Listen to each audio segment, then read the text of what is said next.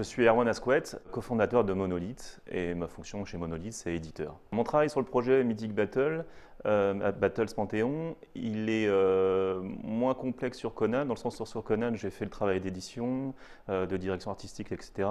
là je me suis vraiment concentré en soutien de Léo sur tout ce qui est gestion des, des sculpteurs, un petit peu la partie technique de pré-production. Le, le suivi euh, des, premiers moules, etc. Toute la question de, la page Kickstarter, euh, la réflexion sur les stretch goals, les, paliers euh, et, tout ce genre, enfin tout cet aspect. Depuis Conan, au niveau des, figurines, il y a eu une grosse évolution, tout simplement parce qu'on a beaucoup plus d'expérience grâce à Conan. sur Conan, bah, on a fait sculpter, je ne sais plus, une centaine de figurines différentes. Euh, en utilisant des nouvelles technologies euh, euh, sur lesquelles on n'avait pas l'habitude de, travailler, notamment tout ce qui est sculpture digitale. donc on a, fait, on a fait pas mal d'erreurs sur Conan là-dessus, parce que c'est tout un processus différent. parce qu'à l'écran, c'est beaucoup plus difficile de se rendre compte sur, une, sur une figurine en 3D de ce que ça va rendre en réel. Et ça, on ne s'en rend compte vraiment qu'une fois que l'impression 3D, qu'on a l'impression 3D dans les mains. Euh, alors l'avantage, c'est qu'on peut toujours revenir en arrière euh, grâce à cette technologie euh, et faire des modifications après coup. sur Mythic Battle, on a bénéficié de cette expérience. donc on n'a pas reproduit les mêmes erreurs. on était tout de suite juste au niveau des échelles, au niveau de la qualité des détails sur la sculpture numérique. Alors bien sûr, on a beaucoup travaillé aussi sur Mythic Battle sur la sculpture traditionnelle. Mais on a fait en sorte en fait, qu'on ne voit pas la différence, euh, une fois qu'on a des tirages résine puis plastique dans les mains, entre une sculpture qui est sculptée en traditionnel et une sculpture qui est sculptée digitalement. On a aussi, je pense, progressé par rapport à tout ce qui est production, c'est-à-dire au niveau du travail sur les moules, sur deux points principaux. Le premier point, c'est que sur Conan, on passait par une étape de résine, c'est-à-dire qu'on fournissait aux fabricants euh, un tirage résine qu'on avait fait faire à partir de l'original. Là, on envoie, euh, alors bien sûr, on fait des tirages résine pour avoir des sauvegardes, mais on envoie directement l'original. Euh, parce que ce qu'il faut savoir, c'est qu'à chaque fois qu'on passe sur une étape de, moulage, on va perdre en, ce qu'on appelle du rétrain, donc on va perdre en, taille de figurine, en définition. et donc là, en moulant directement l'original, on va gagner peut-être 1 ou 2% là-dessus. Euh, ensuite, la deuxième grosse évolution euh, qu'on a entre Mythic Battle et Conan, euh, et ça c'était dû au fait que dans Mythic Battle, il y a énormément de grosses figurines, hein, parce qu'on a les dieux bien sûr, mais on a tous les monstres, etc. Il y en a vraiment, a vraiment des tonnes, c'est des tonnes, c'est n'importe quoi.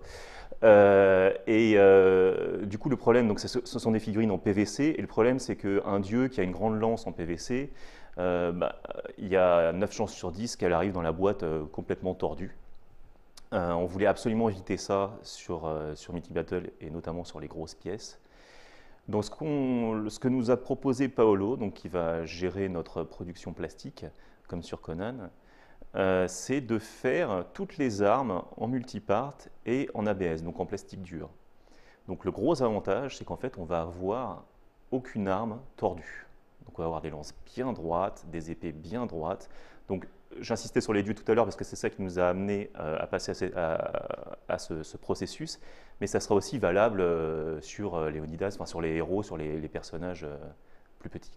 Une amélioration aussi qu'on a apportée entre les, deux projets, Mythic Battle et Conan, en fait, quand le, quand le Kickstarter Conan s'est terminé, on avait un certain nombre de sculptures numériques, plusieurs dizaines, et euh, bon, on ne savait pas comment ça fonctionnait, hein, très, très, naïvement. Et on a dû faire appel à un prestataire extérieur pour nous imprimer toutes ces figurines.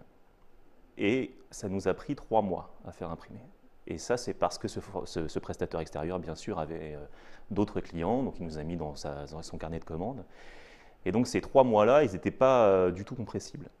Donc ce qu'on a fait, c'est qu'on a acheté une imprimante 3D ce qui fait que dès qu'un sculpteur euh, a terminé une pièce sur Meeting Battle, on a pu tout de suite l'envoyer euh, à la personne qui gère notre imprimante, donc qui est un de, nos sculpteurs, et avoir tout de suite euh, l'impression 3D qui est prête pour, pour être lancée à, la production. Sur Mythic Battle, on a une avance considérable par rapport à, ce qu'on pensait être prêt sur Conan, parce qu'on s'est complètement fourvoyé sur Conan sur les, délais de production, notamment de pré-production. Donc j'entends par pré-production la, préparation des moules. Euh, si vous voulez, sur Conan, on a lancé, euh, on a commencé à voir les premiers moules et les premiers euh, retours plastiques, les premiers tests plastiques des mois après la, fin du Kickstarter. sur Mythic Battle, on a déjà une dizaine de moules qui sont réalisés. On a déjà les premiers tirages plastiques, les premiers tests pour pouvoir faire nos retours. Parce qu'une fois que le, le, moule plastique pour le plastique est réalisé, bah, il y a tout un, jeu d'aller-retour avec le Fabricant pour euh, effectuer des modifications sur, euh, les moules.